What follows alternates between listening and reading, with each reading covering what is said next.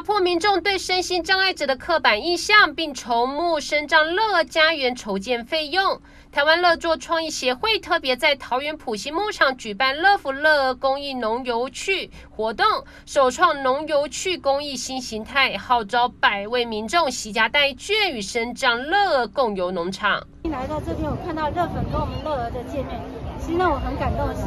其实乐粉其实对我们的乐儿，还有我们乐儿对他们的那种的关系是非常好的，这也是。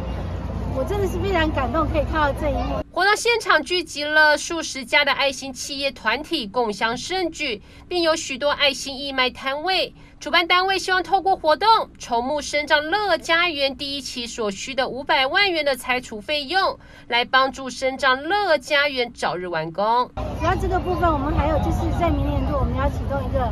八到八的幸福百分之二十的幸福时光。那也请大家继续关注我们，也给我们更多的协助跟帮忙。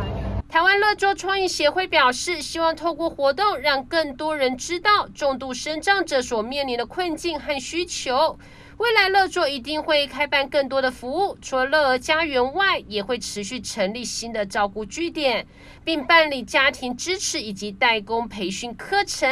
来帮助桃园在地更多的身心障碍者。记者董宇飞、杨梅采访报道。